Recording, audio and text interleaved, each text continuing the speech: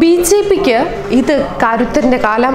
രാഷ്ട്രീയ എതിരാളികൾ പോലും ഭാരത് ജനതാ പാർട്ടിയുടെ കരുത്ത് തിരിച്ചറിയുന്നുമുണ്ട്.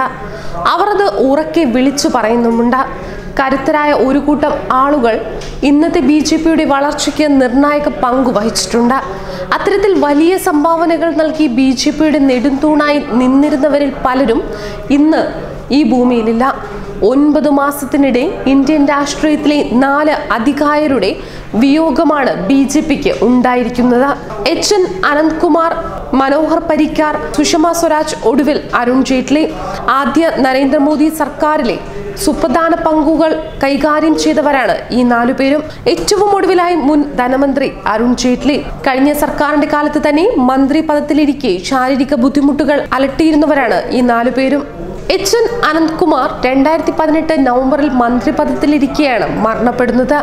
അതേസമയം ഇന്ത്യയുടെ തലസ്ഥാന നഗരി നഷ്ടങ്ങളുടെ പട്ടികയും പേറി വേദനിക്കുകയാണ് കുറച്ചു നാളുകളായി. കഴിഞ്ഞ നാല് ദശാബ്ദങ്ങളിൽ ദേശീയ രാഷ്ട്രീയത്തെ സമ്പന്നമാക്കിയ ഷീലാ ദീക്ഷിത്തും സുഷമയും അരുൺ ജെയ്റ്റ്ലിയും ഡൽഹി നിവാസികളുടെ മനസ്സിലും നിറസാന്നിധ്യമായിരുന്നു ഡൽഹിയുടെ ആദ്യ വനിതാ മുഖ്യമന്ത്രിയായിരുന്നു സുഷമ സ്വരാജ്. ആയിരത്തി തൊള്ളായിരത്തി തൊണ്ണൂറ്റി എട്ടിൽ ഡൽഹിയുടെ ആദ്യ നിയമസഭയുടെ അവസാന കാലത്ത് അൻപത്തിരണ്ട് ദിവസം മാത്രമായിരുന്നു അത്.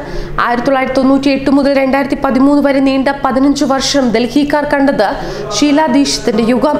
രാഷ്ട്രീയമായ തിരിച്ചടികൾക്ക് ശേഷം തിരിച്ചുവരവിന് ഒരുങ്ങവെയായിരുന്നു ശീലാദീക്ഷിത്. ഇക്കഴിഞ്ഞ ജൂലൈയിൽ വിടവാങ്ങിയത്. എന്നാൽ കാലങ്ങൾക്ക് അതീതമായ ജനഹൃദയങ്ങളിൽ ഇവരൊക്കെയും ജീവിക്കുക തന്നെ ചെയ്യും. രാഷ്ട്രീയങ്ങൾക്കപ്പുറം കൊടിയുടെ നിറം നോക്കാതെ ജനസേവനമെന്ന ഒറ്റ ലക്ഷ്യത്തിൽ പ്രവർത്തിച്ചുകൊണ്ട് ജനങ്ങൾക്കായി ഒത്തിരി നന്മ പ്രവർത്തികൾ ചെയ്ത ജനകീയരായിട്ടുള്ള രാഷ്ട്രീയക്കാർ. ഇവരെ എങ്ങനെ മറക്കും? സാധാരണക്കാർ. അതേസമയം മുൻ ധനമന്ത്രി അരുൺ ജെയ്റ്റ്ലിയുടെ മൃതദേഹം ഔദ്യോഗിക ബഹുമതികളോടെ സംസ്കരിച്ചു കഴിഞ്ഞു. നിഗം ബോധ്ഘട്ടിലാണ് മൃതദേഹം സംസ്കരിച്ചത്. ഉപരാഷ്ട്രപതി വെങ്കയ്യ നായിഡു അമിത്ഷാ രാജ്നാഥ് സിംഗ് സ്മൃതി ഇറാനി ജെ പി നന്ദ ബി എസ് യെദ്യൂരപ്പ എൽ കെ അദ്വാനി എന്നിവർ അവസാനമായി അന്ത്യോപചാരം അർപ്പിച്ചു. ദില്ലിയിലെ കൈലാഷ് കോളനിയിലെ വസതിയിൽ പൊതുദർശനത്തിന് വെച്ച് അദ്ദേഹത്തിന്റെ മൃതദേഹത്തിൽ അന്തിമോപചാരം അർപ്പിക്കാൻ സമൂഹത്തിന്റെ നാനാതുറയിലുള്ളവർ എത്തിയിരുന്നു. വസതിയിലെ പൊതുദർശനത്തിന് ശേഷം രാവിലെ പതിനൊന്ന് മണിയോടെ ഭൗതിക ശരീരം ബി ജെ പി ആസ്ഥാനത്ത് എത്തിക്കുകയായിരുന്നു. തുടർന്ന് സംസ്കാരം നടന്ന നിഗം ബോധ്ഘട്ടിൽ എത്തിക്കുകയായിരുന്നു. ന്യൂസ് ഡെസ്ക് മലയാളി വാർത്ത.